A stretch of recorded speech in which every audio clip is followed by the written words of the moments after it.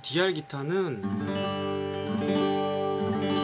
성음에서 나온 기타 중에서 저렴한 20만 원대 안쪽으로 되어 있는 기타 중에 가장 좋은 소리를 내고 있어요.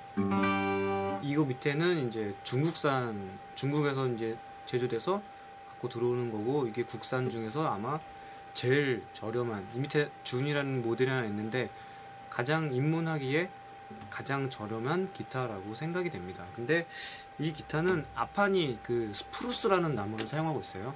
그리고 옆판이랑 요 뒷판 그리고 여기 넥, 넥 부분까지 뒷부분까지 다 마호가니를 사용하고 있고 여기는 로즈우드가 되겠습니다. 요 지판이요. 요 지판은 로즈우드 지판으로 되어 있어요. 그래서 통이 보시면 딱 그 일반 통기타의 두께를 갖고 있거든요. 그리고 아주 살짝 뒤에가 아니- 일자가 아니라 아주 살짝 볼록하게 돼 있어요. 아주 살짝 볼록하게 돼 있어서 울림이 좋아요. 되게 통이 두껍고 그래서 울림이 되게 좋습니다.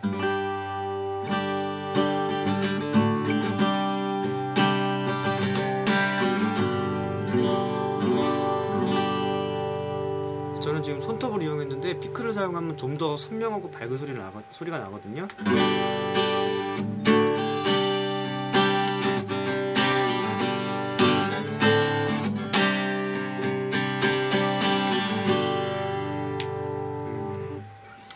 처음에 이 기타는 줄이 다다리오 줄이 들어가 있어요. 그래서 다다리오 줄은 약간 장력이 살, 약간 세요. 그래가지고 처음에 치실 때 이제 운지 잡거나 그러실 때 음, 아주 튼튼한 소리가 나요. 소리가 튼튼한 소리, 아주 청명한 소리가 나고요.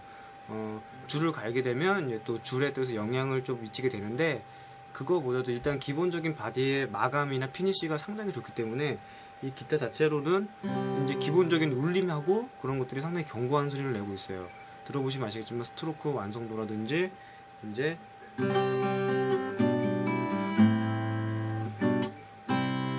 자, 이런 소리가 되게 뭐라 그럴까요? 그 저렴한 기타 때의 사운드가 아니라 이제 좀 울림이 있고 좀 저음이 괜찮은 그런 사운드가 나와요. 이게 이 나무 자체 그 spruce 이제 마호가니 마호가니가 좀 따뜻한 그런 사운드를 내게 해주는데 보통 중요한 거는 사운드 앞판이 좀 중요한 소리를 내거든요. spruce라는 나무 재질 자체가 이제 소리를 따뜻하게 해주는 그런 소리가 있어서 기본적으로 스트링이 바뀐다고 하더라도 기본적인 사운드가 상당히 꽉 차고 풍성한 울림 있는 사운드가 나오는 게 이런 아, 이 성음 DR 기타입니다.